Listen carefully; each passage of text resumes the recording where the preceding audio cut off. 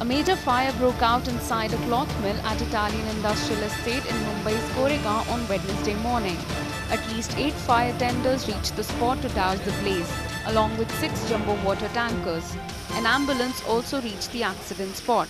ये साढ़े सात बजे सुबह लगा और मुझे कॉल गया पौने आठ बजे तो मुझे कॉल गया कि यहाँ पे अपने नीचे वाले कंपनी में सब आग लग गया है और उप- अपना भी कंपनी पकड़ लिया है आग तो आप जल्दी यहाँ पे चले आओ।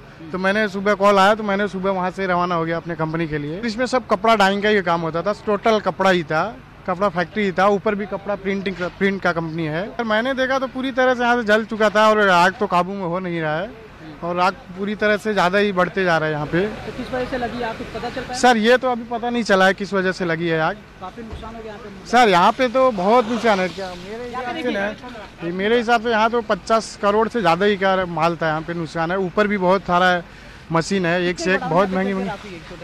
सर अभी तो ये दूसरा गोडाउन है पहला फ़र्स्ट है ऊपर सेकंड का लगा हुआ है। दोनों दोनों। Building was evacuated after the started from ground floor and reach the first floor no casualty